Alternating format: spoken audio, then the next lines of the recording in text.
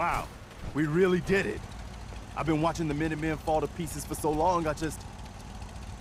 This is really something. Now we've got to pay off on what we've started, bring the whole Commonwealth together, and make it last this time. So, you know, back to business. But with Radio Freedom up and running, we can broadcast alerts to you anywhere, anytime.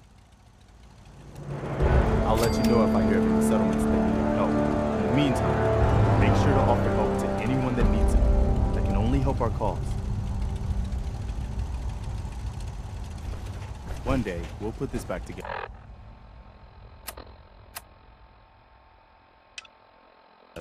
Better than ever.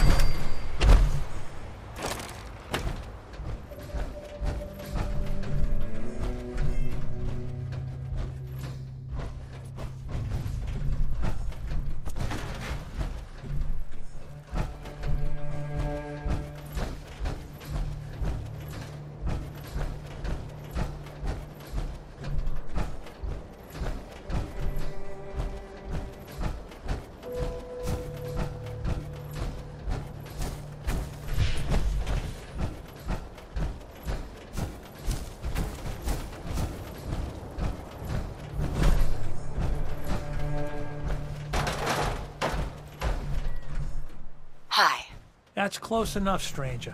We're a peaceful farm. We don't want any trouble. It's okay. I'm friendly. Not looking to cause any trouble. If you say so, but be warned, we're armed here, so don't try anything. Let me tell you, farming ain't easy. Out in the field all day, every day, and every minute of it spent watching your back. Farming's hard work. Won't argue with that. Blake Abernathy, you new to the Commonwealth? I'm, uh, yeah, you could say that. Good to see a new face. How about you? Ever think about working the land? I'll probably give it a try someday. Well, good luck to you then. Maybe I'll see you at the Diamond City Market someday and we'll do a swap. Word of advice though, if you do start up a farm, be ready to deal with the raiders. Why do all the hard work when you can just take what you want at gunpoint? Bastards. All of them. Last time those raiders hit us, my daughter Mary tried to stand up to them. Now she's buried out back of the house. Only 21 years old, and they shot her down without a thought. That's why we need the Minutemen back. And the sooner, the better. There's nothing worse than losing a child. Believe me, I know. I couldn't imagine what it'd be like to lose someone that close to me. I'm sorry to hear you say so. I don't have much to offer, but those raiders that killed Mary, they took her locket too. It's been in Connie's family for generations. If you could get it back, it'd mean a lot to us. Don't worry. I'll get that locket back for you. Good. Connie feels like it's a part of Mary. I don't think she'll rest easy again as long as it's gone. Always on good behavior, aren't you? I try to be. Seems like you're doing better than trying. I appreciate it. Too few folks can be bothered. Of course, in my experience, if you want to do real good, playing nice only gets you so far. I mean, look at Diamond City. A place I've been trying to warn of real danger. But every issue I publish, all I hear is, Oh, Piper, why don't you ever publish anything happy? Piper, why can't you write something nice for a change? It's enough to make me want to hang up my hat some days. Sounds like it must be exhausting. Huh, no kidding. But people, they deserve to know the truth. Sure, it can be scary, knowing what's really out there. a night doesn't go by, I'm not afraid some Institute drone will decide today's the day to pay old Piper and family a visit. But it's worth it, because I know the truth. That's what protects us. Couldn't agree more. How can you protect you and yours if you don't know what you're facing? Exactly. Most folks, though, they'd prefer a comforting lie. Not me. I've seen firsthand what the truth can do. My sister and I, we grew up way out in the Commonwealth. Tiny little settlement. Our dad, he was part of the local militia.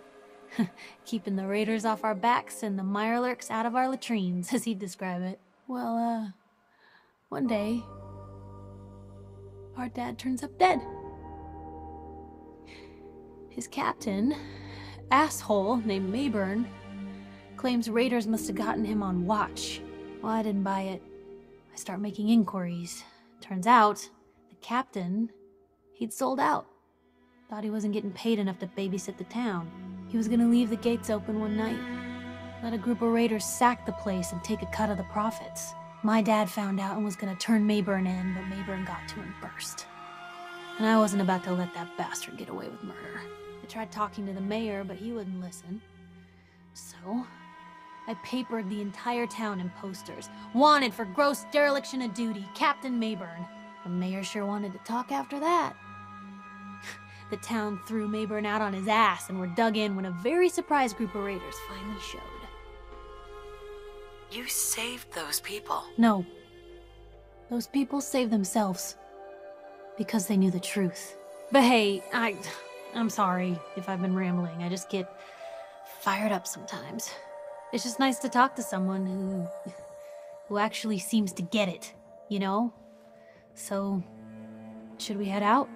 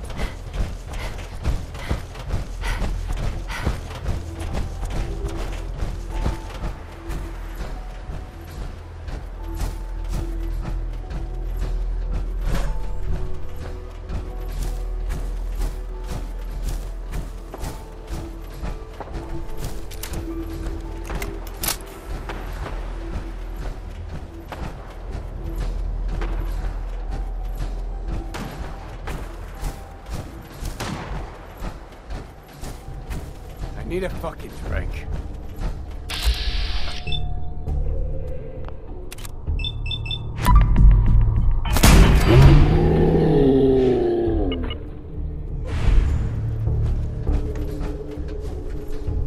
Free for the taking.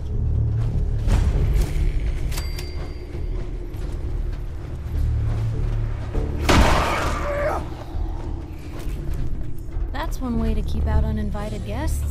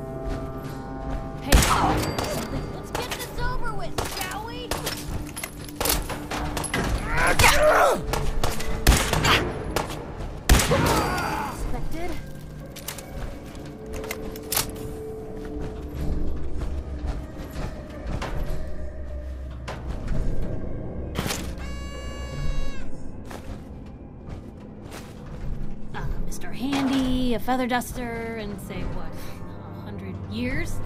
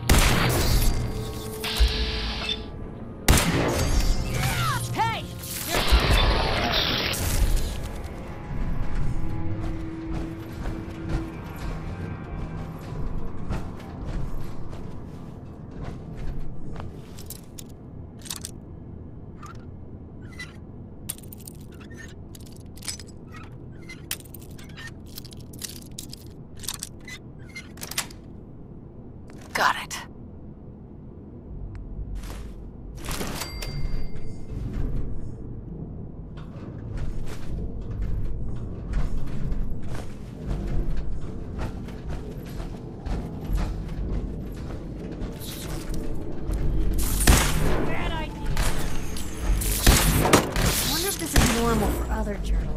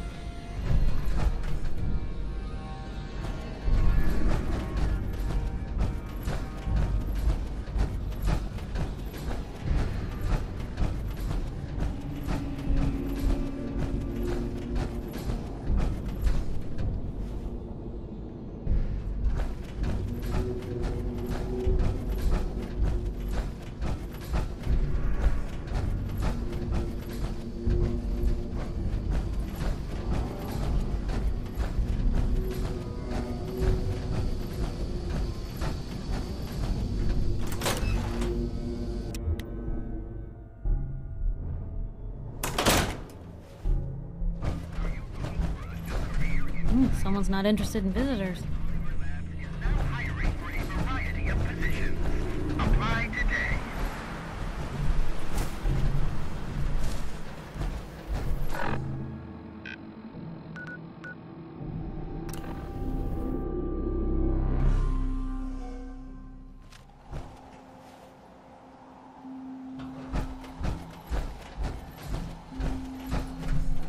New here?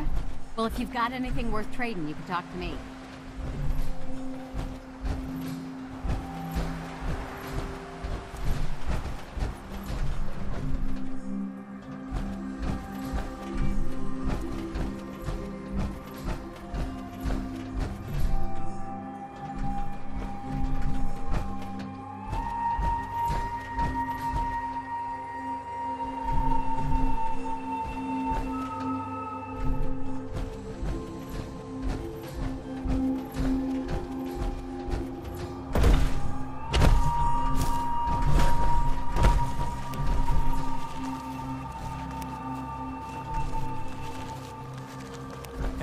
Luck finding that locket? I've got that locket back for you. You serious? That's great news. Connie's gonna be speechless. Whatever the Minutemen need, you can count on us. We got a decent workshop and Connie's sure to go leaner on her prices after what you've done. I want to trade a few things. Go ahead.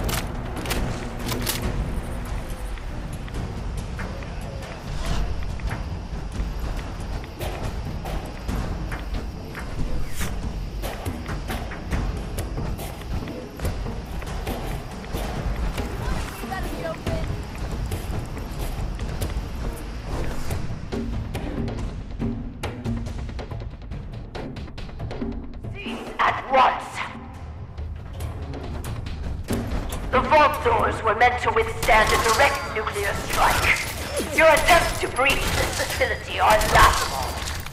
Leave at once, or there will be consequences. Vault Tech will not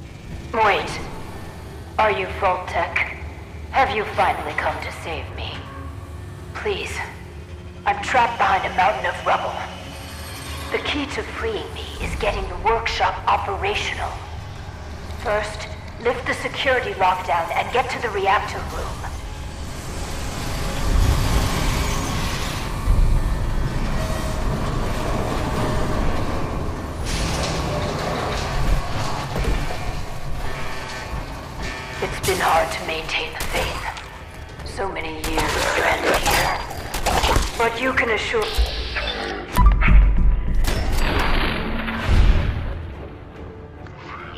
still around, that I have used the time productively. The great work is ready to begin.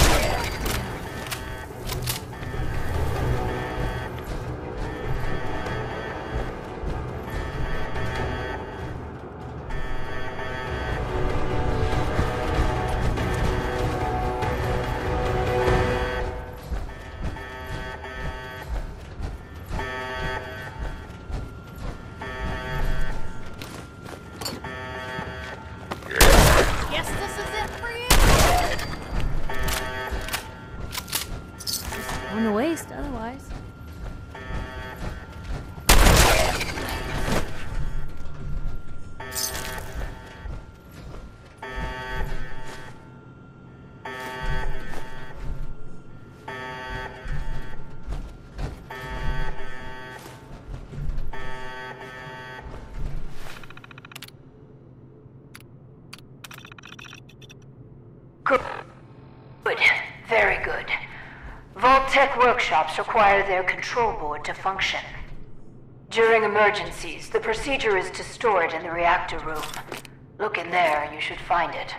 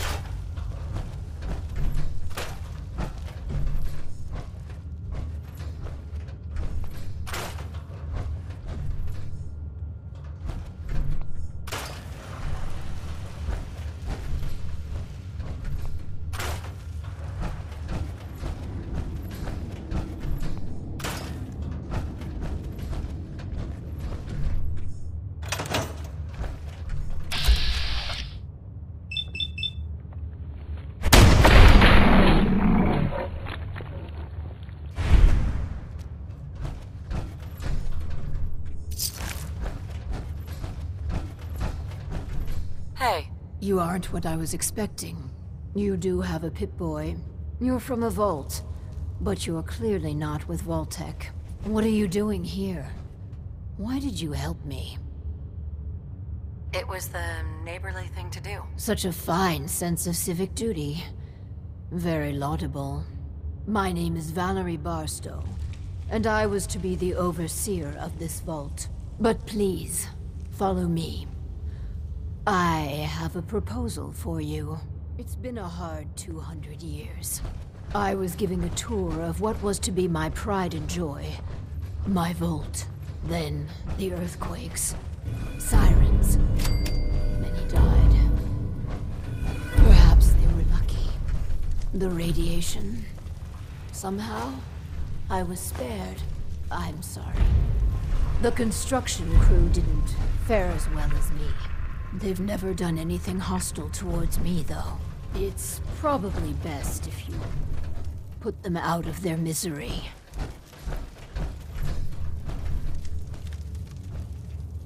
It's better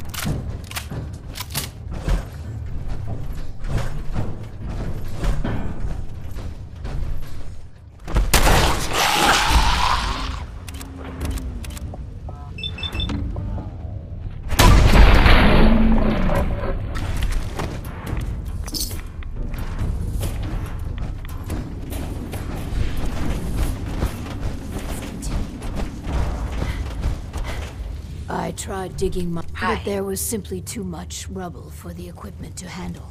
What a momentous day. Here, among these papers, is my life's work. I'd like to share it with you. Dr. Braun tasked me with something vital. A series of prototypes and their related... well, experiments that could redefine... But, as you can see, things did not go according to plan.